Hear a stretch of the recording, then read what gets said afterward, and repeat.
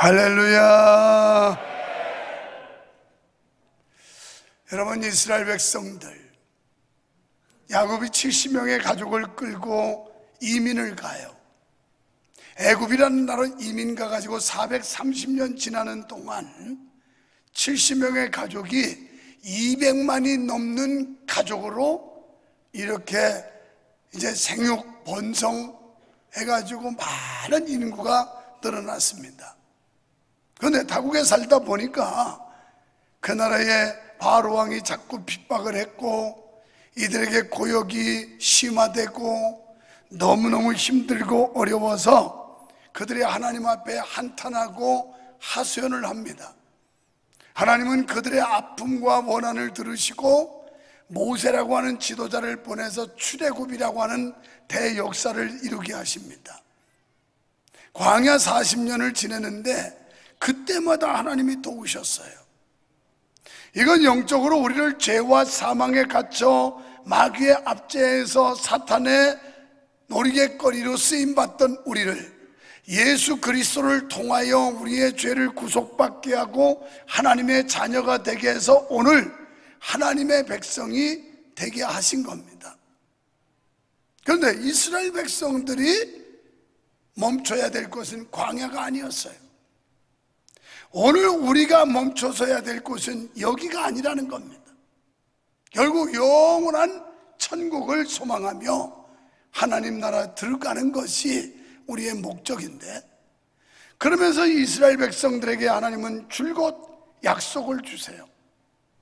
그래서 비전을 제시하는데 너희가 가야 할 곳은 가나안 땅이다. 젖과 꿀이 흐르는 땅이다. 축복의 땅이다. 이러면서 계속 비전을 제시하셨습니다. 이스라엘 백성들은 힘들고 어려울 때마다 광야 생활 가운데 약속의 땅을 소망하며 기대하고 살아왔습니다. 그러던 중 이제 하나님께서는 모세를 불러 가시고 모세 다음 지도자로 여호수아라고 하는 사람을 세우게 됩니다. 그럼 여호수아는 어떤 사람일까? 오늘 여기서 우리는 하나님이 쓰시는 사람은 어떤 사람인가를 생각해 보려고 합니다. 하나님이 쓰시는 사람은 믿음의 사람입니다. 그럼 믿음의 사람과 믿음이 없는 사람의 차이가 뭘까요? 믿음의 사람은 늘 긍정적이에요. 믿음의 사람은 적극적이에요. 그리고 믿음의 사람의 고백은 긍정적인 말만 합니다. 또 믿음의 사람은 안 좋은 소리를 걸러버려요. 듣지 않아요. 반대로 믿음이 없는 사람들은 부정적인 이야기를 많이 듣습니다. 원망, 불평, 시비하는 소리를 많이 듣습니다. 그러다 보니까 그의 사고에는 부정적인 사고가 고착화됩니다.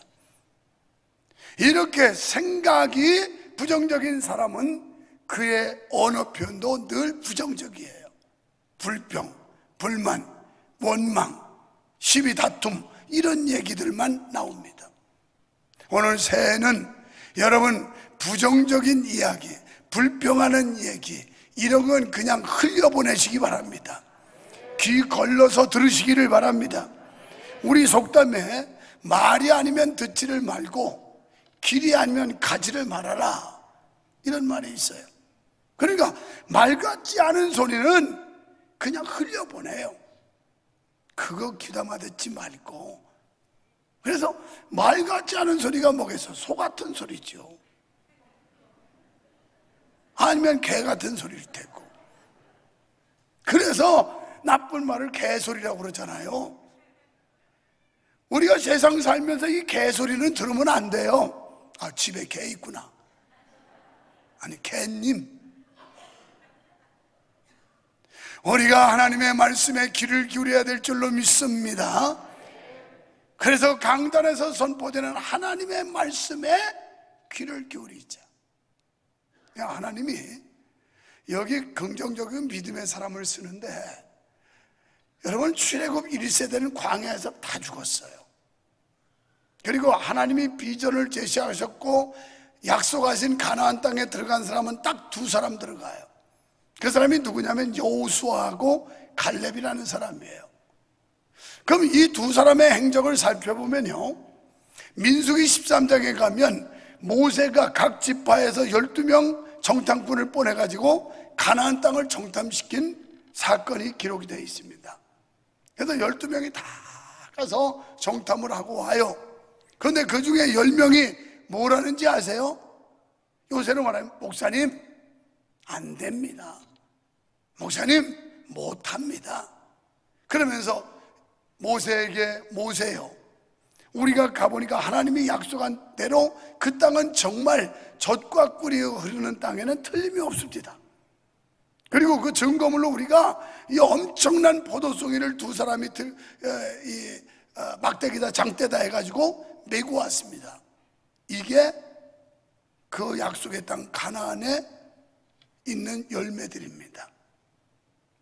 하나님이 약속한 대로 젖과 꿀이 흐르는 땅이기는 한데 그러나 그 땅을 우리가 들어가는 것은 불가능합니다.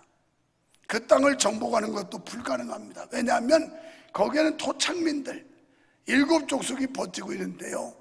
그들의 덩치가 얼마나 큰지 우리는 거기다 대니까 메뚜기 같습니다. 그러니 포기하세요. 안 됩니다. 괜히 우리가 여기까지 왔습니다. 우리는 가나안 땅에 못 들어가요. 이렇게 얘기하니까 백성들이 술렁술렁술렁 하기 시작해요. 그러면서 지도자 모세에게 막 원망합니다. 차라리 애굽에 살게 내비두지 왜 우리를 여기 끌고 와가지고 가나안 땅에 들어가지 못할 걸 이 광야에서 죽게 하려고 데리고 왔느냐 막 원망 불평을 해요. 그때 여호수아와 갈렙 두 사람이 하는 얘기가 있습니다. 사랑하는 백성들이요, 사랑하는 동포들이요, 이 열 사람이 보고한 거 현실입니다. 틀림없는 얘기입니다. 그런데 우리가 보니까 두려워할 이유가 없습니다. 그들의 신은 죽었고 우리가 믿는 하나님은 살아계시기 때문에 우리는 얼마든지 그 땅을 정복할 수 있습니다. 놀라지 마십시오. 두려워하지 마십시오. 여러분, 겁에 질리지 마십시오. 막 이러면서 백성들을 안돈시켜요. 공동체에서 사람들이 제대로 된 사람은 불평불만하고 막 울근불근하는 그 사람들을 진정시켜요. 여호수와 갈렙처럼 그러지 마세요. 그거 아니에요. 지금 뭔가 착각하고 있는 거예요. 이러면서 안정시켜요. 그런데 부정대 부정적인 사람들, 믿음 없는 사람들은 부수셔요. 자꾸 부추겨 가지고 이걸 문제를 확대시키고 더 증폭시키고 막 이러면서 문제의 소용돌이를 만들어가는 사람들, 이 사람들이 부정적인 사람들이에요. 이런 사람 하나님이 쓰질 않아요. 사람들도 그런 사람은 싫어해요. 매사에 부정적이고 불평불만한 사람, 그런 사람 좋으세요? 싫지요. 그래서 인간사 살면서 누구를 가까이 하느냐가 중요한 거예요. 여기 1절에 보십시오. 이렇게 표현하고 있습니다. 모세의 수종드는 자 여우수아 이렇게 말씀해요. 개혁 성경에는 시종 여우수아 뭐 그 말이 그 말입니다만은 이것은 모세라고 하는 하나님의 종을 그림자처럼 쫓아다녔어요. 그만큼 밀착됐다는 겁니다. 영적으로 보면 우리는 하나님과 밀착된 삶을 살아야 된다는 겁니다. 하나님은 분명히 2023년 엄청난 축복을 준비하고 계신 줄 믿으시면 아멘 합시다.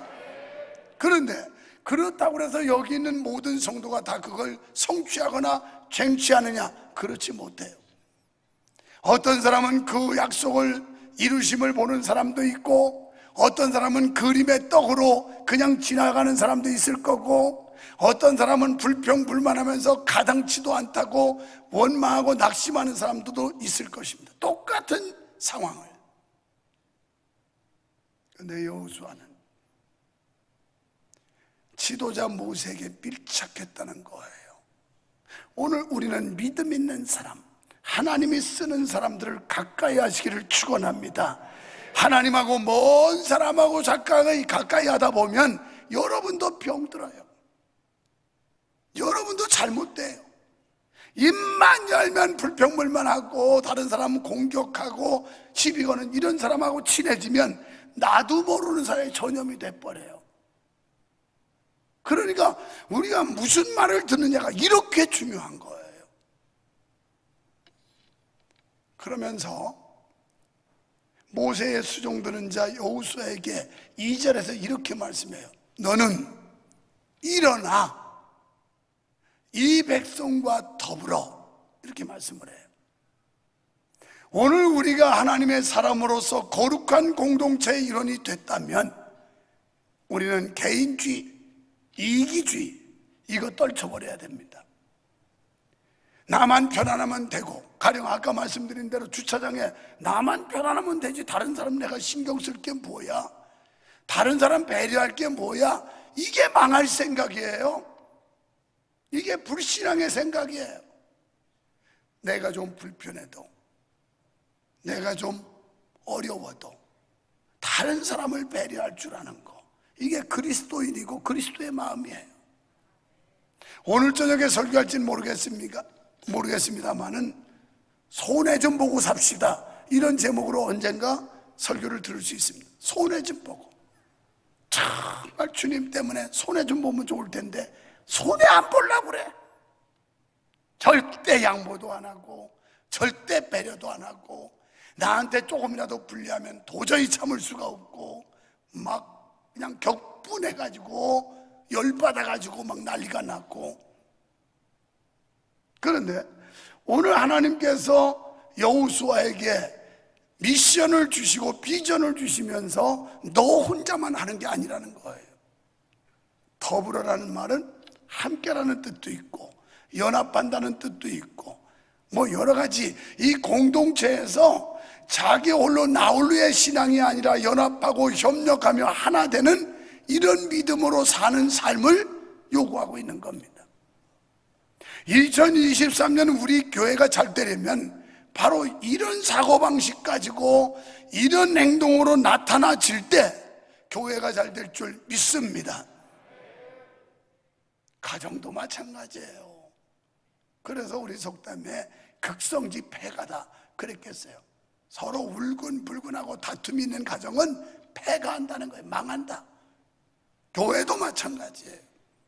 그래서 서로를 감싸주고 이해하고 이 사람과 내가 힘을 모아야 되고 협력하고 이 사람을 배려하면서 뭔가 그들을 통해 하나님께 영광 돌리려고 하는 이 노력 이게 이제 협력이라는 거죠.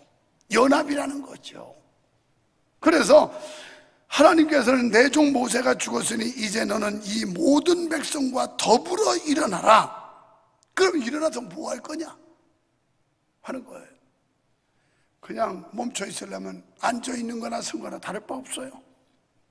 그냥 주저앉아 있어도 마찬가지, 서 있어도 마찬가지. 움직이지 않는다면, 행동하지 않는다면, 앞으로 전진하지 않는다면, 활동하지 않는다면, 일어나 본들 아무것도 아니라는 거예요. 우리가 2023년 주제를 일어나라 이랬어요. 여러 면에서 일어나야 됩니다. 기도의 잠에서도 일어나야 되고, 봉사의 잠에서도 일어나야 되고, 전도의 잠에서도 일어나야 되고, 예배의 잠에서도 일어나야 되고, 이 일어나라는 말은 깨어나라는 말과도 같은 뜻이에요. 뭔가 깨어나야 돼요. 무관심, 무책임, 방심, 안일 이런 데서 깨어나야 되겠다는 거예요. 그래서 나만이 아니라 모든 성도들이 함께인데 제가 여기 올라오기 전에 저 남양 시청 있는 남양에 사는 윤현묵 집사님 작년까지는 그냥 예배만 이렇게 참석하는 분이었어요. 그런데 오늘 봤더니 해가 바뀌면서 달라졌어.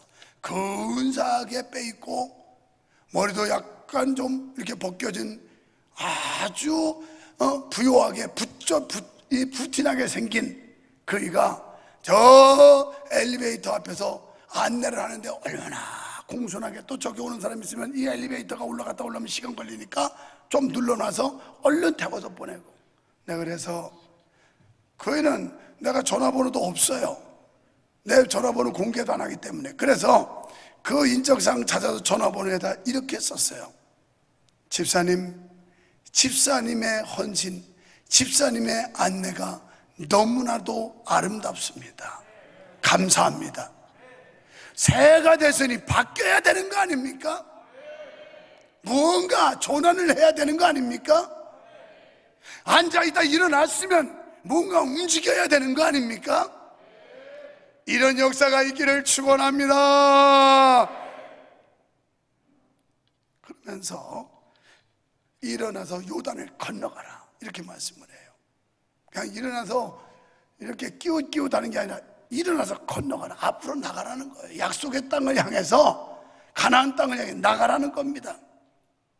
그러면서 내가 모세에게 말한 바와 같이 너희 발바닥으로 밟는 것은 모두 내가 너희에게 주었느니 그냥 안일 무사주의에서 태평하고 앉아 있는 사람에게 주겠다는 게 아니라 뭔가 행동으로 믿음으로 움직이는 사람에게 주겠다는 겁니다.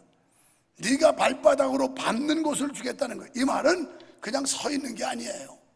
그죠? 좌우로 왔다 갔다 하면서 그 땅을 밟고 행동하고 있다는 거예요. 2023년 우리 교회 성도들은 멈춰 있는 자가 아니라 그냥 서서 물끄러미 바라보고 있는 자가 아니라 이곳저곳 구석구석에 들어가서 활동하고 행동하고 헌신하고 봉사하는 해가 되기를 주의 이름으로 축원합니다. 그러면서 구체적으로 사절에서 얼마나 넓은 지경을 주는지를 설명하고 있어요. 어마어마한 땅, 엄청난 축복을 주겠다는 거예요. 이렇게 하나님의 명령과 하나님의 약속과 하나님의 말씀을 믿고 나가면 2023년 하나님께서 엄청난 축복을 준비해 놓고 계시다 주신다는 겁니다. 믿어주시면 아멘 합시다. 현실은 그렇지 않아요. 지금 금리는 그냥 덕달같이 벼락같이 올라가지고 배 이상으로 올라갔고 그리고 세계 경제는 불황의 늪에 빠져들었고 뭐 여러 가지 지표나 상황은 좋지 않아요. 마치 이스라엘 정탐꾼들이 가서 가나안 땅을 본 것처럼 별로 호락호락하지 않다고요. 녹록하지 않다고요. 그러나 5절에서 내 평생에 너를 능히 대할 자가 없으리니 내가 모세와 함께 있던 것 같이 너와 함께 있을 것임이니라. 내가 너를 떠나지 아니하고 버리지 아니하리라. 이렇게 약속을 하세요.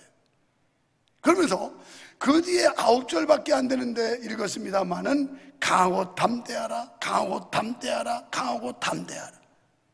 겁먹은 사람은 아무것도 못해요. 겁에 질린 사람은 아무것도 도전하지 못해요. 그런데 뭔가 적극적으로 나가려면 강하고 담대해야 되는데 제가 여러분한테 강하고 담대하라고 한들 무슨 도움이 되겠습니까?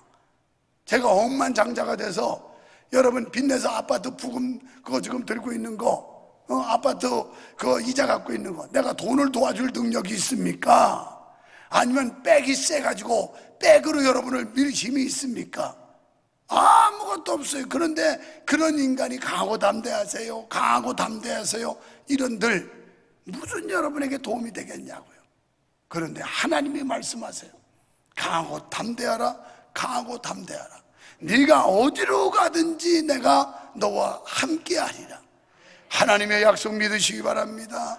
하나님의 말씀을 믿으시기 바랍니다. 그러면 그 하나님이 평생 너를 능히 당할 자가 없도록 대적을 막아주겠다는 거예요. 질병의 대적도 막아주시고 환란의 대적도 막아주시고 아멘 하는 사람한테만 안 하는 사람은 좀 아파도 보시고 어, 힘도 좀 들어보시고 어, 사업도 좀 엎치락뒤치락 좀, 좀 해보시고 아니 하나님의 말씀을 가지고 축복을 비는데도 그냥 뭐 입에 자크를 채워가지고 이러고 있으니까 하여튼 어, 질병의 대적도 막아주시고 가난의 대적도 막아주시고 하나님이 막아준다는 거예요. 우리를 공격하고 우리를 불행하게 하는 모든 세력들을 누가? 하나님이 막으신다는 겁니다. 믿어주시기 바랍니다. 그러면서 하나님이 뭐라면 이 율법책을 내게서 떠나지 말게 하라 이렇게 말씀을 해요. 그 말은 하나님과 밀착된 삶을 살라는 거예요. 기도로 깨어 있어야 되고 말씀으로 깨어 있어야 되고 예배로 깨어 있어야 되고 하나님과 가까이 하라는 겁니다. 사람도요 누구를 가까이 하느냐가 중요해요. 나보다 훌륭한 사람 가까이 하면 우리도 닮아가요. 그런데 별 볼 일 없는 사람 가까이 하면 그거 닮아요. 여러분은 누구 가까이 하시렵니까? 정말 존경할 만하고 훌륭한 믿음의 선진, 믿음의 거부, 이런 사람들 가까이 해야 그 사람의 믿음을 나도 담고 배워가고 이러는데 믿음 생활을 개차반으로 하는 사람만 가까이 하니까 자기도 개차반이 되는 거예요, 개차반. 그래서 친구가 이렇게 중요한 거예요. 오죽하면 친구 따라 강남 간다는 속담이 있을까요? 인간관계가 이렇게 중요한데 여호수아가 모세를 가까이 하더니 이스라엘의 두 번째 지도자가 된 거예요. 그래서 8절에서 이 율법을 내 입에서 떠나지 말게 하여 주야로 그것을 묵상하라. 이 말씀은 시편 1편의 말씀과 똑같아요.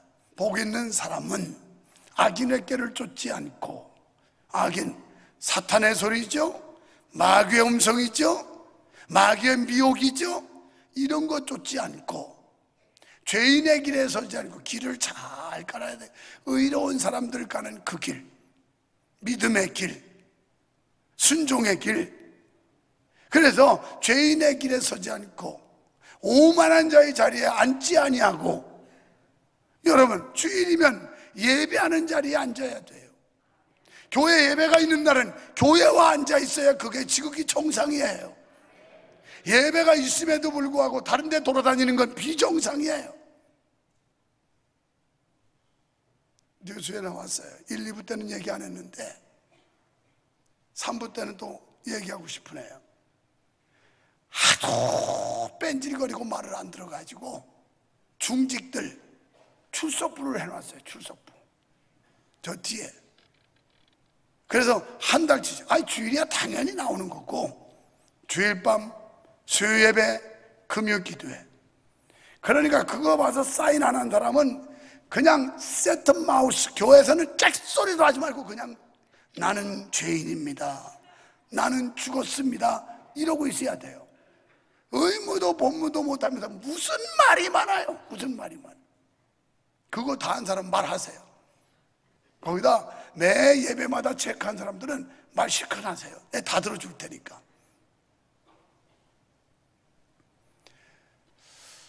골치 아프게 됐어요. 그죠? 목사가 맨 생각해내는 게 그런 거나 생각해내고 나는 먹고 할 일이 그거밖에 없어요. 어떻게 하면 이 백성을 깨우느냐? 오늘 여기 일어나, 너만 일어나지 말고 일으키라는 거예요. 일으키라. 내 백성을 일으켜라. 목사를 여기 세워가지고 사례비 줘가면서 목사가 사역하는 건 뭐예요? 일으키라는 거예요, 여러분을. 믿습니까? 주저앉아서 안 일어나는 사람을 손을 잡아서 일으키기도 하고 예수님께서 손 잡아서 끌어서 일으키기도 한 것처럼 일으켜 주라는 거예요. 그래서 제가 있는 거예요. 야속해하지 마시고 아 우리 목사님이 우리를 얼마나 사랑하시면 믿음 생활 똑바로 하라고 저런 방법까지 쓸까?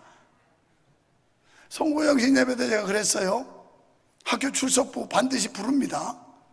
내가 신학교 다니면서 제일 서러웠던 게 너무 힘들어가지고 등록금 제때 못 내서 출석부에 이름 못 올라갔을 때 얼마나 비참했는지 몰라요. 교수님이 들어와서 전부 이름을 부르는데 등록을 못한 사람은 이름이 안 불려. 수업은 듣는데. 그거 겪어보셨습니까? 정말 눈물겨웠어요. 오늘 왜 대학교 다 성장한 장성한 사람들에게 출석부가 필요한가요? 학습의 진치도와 성취도를 높이고 그들이 그 강의실을 이탈하지 않게 하기 위해서 그래서 출석부라는 걸 통해서 출석 호명을 하고 체크를 하는 거예요. 오늘 교회가 바로 됐다면 여러분이 마땅히 나와야 될 시간에 강의 듣고 설교 들어야 될 시간에 듣지 않기 때문에 그들을 교회에 머무르게 하고 교회로 불러들이기 위해서 출석부를 만들어 놨다니까요.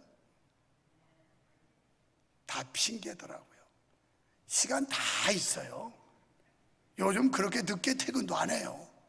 그런데 게을러 빠져가지고 아니 옛날에 우리는 은혜 받아가지고 밥은 굶어도 그냥 교회로 예배 지키러 갔어 밥은 안 먹어도 지금은 맨날 먹어도 배에 기름만 꼈는데 뭘 더 먹겠다고 그렇게 그거 못 참아가지고 아니 난 밥 먹어야지 예배 못 가. 영적인 양식을 먹어야지 육적인 양식만 먹어서 되겠느냐고요 되겠냐. 그래서 예배부터 살아야 되겠다는 거예요. 예배부터. 이것만큼 중요한 게 없어요. 이것만 잘하면 교회는 저절로 붕대요. 저절로 붕대. 왜? 와서 은혜 받으니까. 시간, 시간. 교리적인 말씀도 있고, 어, 성경 공부적인 말씀도 있고, 이런 걸 자꾸 들어서 내 믿음이 쑥쑥쑥쑥쑥 자라면, 한 성숙한 사람이 되는데 열매 안 맺겠어요? 그래서 이 율법책을 내 입에서 떠나지 말게 하고 주야로 그걸 묵상하라. 그러면 다 지켜하는 내게 내 길이 평탄하게 될 것이며 내가 형통하리라. 2023년 여러분의 앞길이 평탄하게 되기를 축원합니다. 형통하게 되기를 축원합니다. 사업이 형통하게 되기를 축원합니다. 직장에서 형통하게 되기를 축원합니다. 이거 싫어할 사람이 누가 있겠어요? 우리는 만사 형통을 기대하고 축복을 갈망하고 있잖아요. 인생 살면서 사사건건이 이리 걸리고 저리 걸리고 이리 막히고 저리 막혀 보세요. 얼마나 따분하고 힘든가. 그런데 하는 일마다 하나님께서 대길을 열어줘 대길. 성경에 보면 대로가 열릴지니 하는데 이게 벌써 대길이야 대길. 큰데 어? 근데 이 도로 할 때 길로 짜고 그래서 대길이 열린다는 거예요. 2023년 이런 축복 받으시기 바랍니다. 그래서 충청도 사람들이 잘 쓰는 게, 아, 대길이야? 이런다고요. 대길. 확 열렸다는 얘기예요. 대길이야. 지금 여러 가지 상황과 현실과 지표는 암담하지만 하나님이 열어주시면 대길이 열린다는 거예요. 그 다음에 중요한 거 있어요. 16절에 백성들이 그들이 여호수아에게 대답하여 이르되 당신이 우리에게 명령하신 것은 우리가 다 행할 것이요 당신이 우리를 보내시는 곳에는 우리가 가리이다. 교회가 잘 되려면 주의 종의 하나님의 말씀을 강단에서 선포할 때 그 말씀을 겸허히 듣고 그리고 그 말씀에 그대로 준행할 때 그때 교회가 잘 되는 거예요. 그러면서 17절에 우리는 범사에 모세에게 순종한 것 같이 당신에게 순종하려니와 오직 당신 하나님 여호와께서 모세와 함께 계시던 것 같이 당신과 함께 계시기를 원하나이다. 그 당시에 그러니까 200명이 넘는 거된 하나의 교회라고 생각하세요. 이스라엘 백성 이그 선민 그룹이 지금 우리 몇천 명 안 되지만 그런데 거기 그 성도인 백성들이 뭐라고 그러냐면 이렇게 말해요.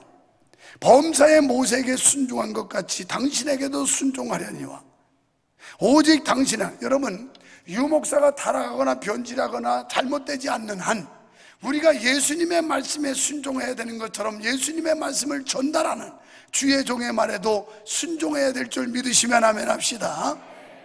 그게 원리예요. 그러면서 여호와께서 모세와 함께 계시던 것 같이 당신과 함께 계시기를 원한 늘 우리 지도자 여호수아와 하나님이 함께 하시기를 원합니다. 우리 목사님과 함께 하시고 목사님과 능력을 함께 해주시고 하나님의 은혜를 주시고 우리 목사님을 통해 역사하시기를 원합니다. 이런 소원이에요. 그러면서 18절에서 누구든지 당신의 명령을 거역하면 당신의 말씀을 순종하지 아니하는 자는 죽임을 당하리니 오직 강하고 담대하소서 세상에 이렇게 용기 주는 성도들이 얼마나 될까요? 목사도 하다 보면 지쳐요. 힘들어요. 요즘 이상하게 주일하고 이게 겹쳐가지고 계속 연속적이에요. 그냥 제가 깨버리고 신년 축복성에 안 해도 되지만 그래도 신년 벽두에 우리가 기도로 시작을 하고 하나님 앞에 예배로 시작하고 뭔가 새로운 각오로 시작하자고 지금 또 다른 때보다 길게 이렇게 수요일까지 열어놓았어요. 그때 성도들의 그 한마디 여기 보면 힘을 주지 않습니까? 여호수아에게 강하고 담대하소서 강하고 담대하소서 우리가 함께 하겠습니다 이게 초대교회가 그랬어요 사도행전 2장 42절에 보면 사도의 가르침을 잘 받았다 이렇게 나와요. 우리 교회가 앞으로 더 은혜 있는 교회, 부흥하는 교회가 되려면 이 목사와 성도 간의 관계가 이렇게 아름다운 관계로 끈끈한 관계로 끈적끈적하게 붙어 있을 때 교회가 잘 될 줄 믿습니다. 자, 강하고 담대하라 세 번씩 말씀하시는데 그렇게 말한들 현실이 따라주지 않는데 뭘 강하고 담대하겠어요. 그러니까 하나님께서 확인해 주죠. 여호수한테 내 종 모세와 함께하던 나 여호와가 너와도 함께하리라. 이 말은 모세에게 하나님이 함께하실 때 어떤 역사가 일어났나요?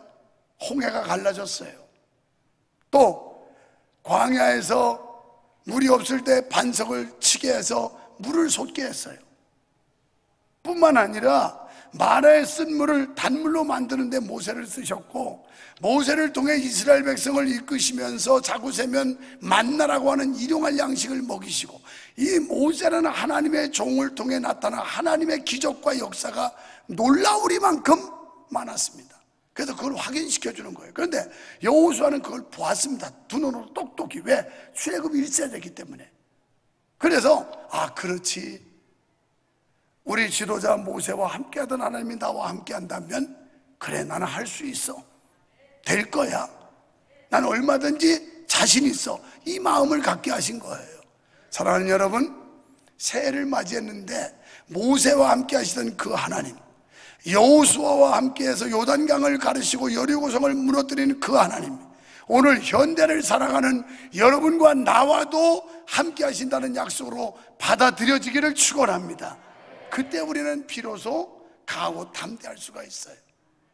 어떤 상황도 뛰어넘을 수가 있어요. 그리고 주저하지 않을 수 있습니다. 우리는 용감하게, 용기 있게 하늘을 시작할 수 있고, 이런 마음의 담력과 평안을 가진 사람이 사업에 임할 때 사업의 적극성을 띠게 되고 성공적인 사업을 이끌어갈 수 있고 이런 믿음과 마음을 가진 사람이 직장 생활할 때 자신감을 가지고 자기의 능력을 100% 200% 발휘해서 머리 될지언정 꼴이 되지 않는 축복을 얻을 수가 있고 이런 은혜를 믿는 자녀들이 하나님의 지혜를 받아서 머리 될지언정 꼴이 되지 않는 축복을 얻게 되는 줄 믿어주시면 아멘 합시다 그래서 우리는 새해에 일어나야 되겠어요 언제까지 무기적거리실랍니까?